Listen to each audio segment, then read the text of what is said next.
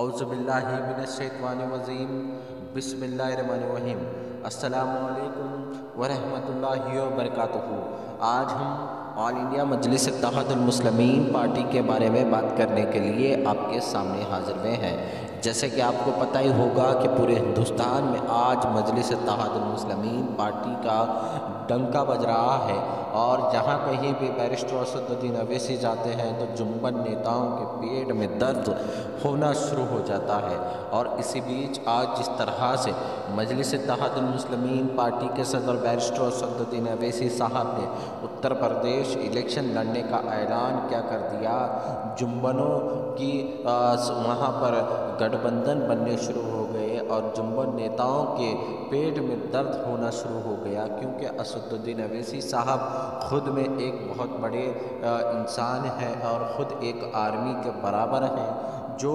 ख़ुद अकेले घूम घूम कर आज पूरे हिंदुस्तान में मजलिस तहदुलमसलम मेन पार्टी को मज़बूत बना रहे हैं और इन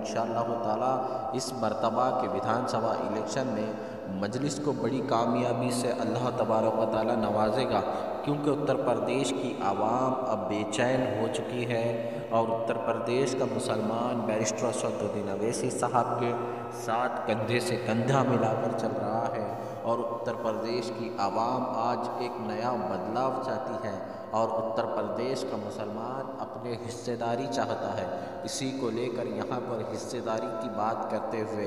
बराबरी की बात करते हुए, बैरिस्टर सदुद्दीन अवैसी साहब ने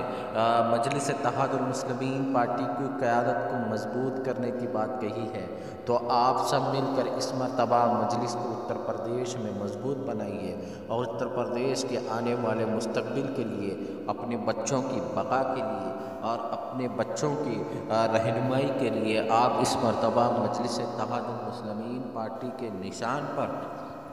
मोहर लगाकर उत्तर प्रदेश में मजलिस को कामयाब करें और जिस तरह से आज हैदराबाद में जिस तरह से काम किया जा रहा है उसी तरीके से ही उत्तर प्रदेश की आवाम की खिदमत करने के लिए मजलिस तहादुलमसलमिन पार्टी के कायद आपके, चौबीसों घंटे आपके साथ रहेंगे। और इन ताला एक नए इनकलाब के ज़रिए से उत्तर प्रदेश में मजलिस तहतमसलमिन पार्टी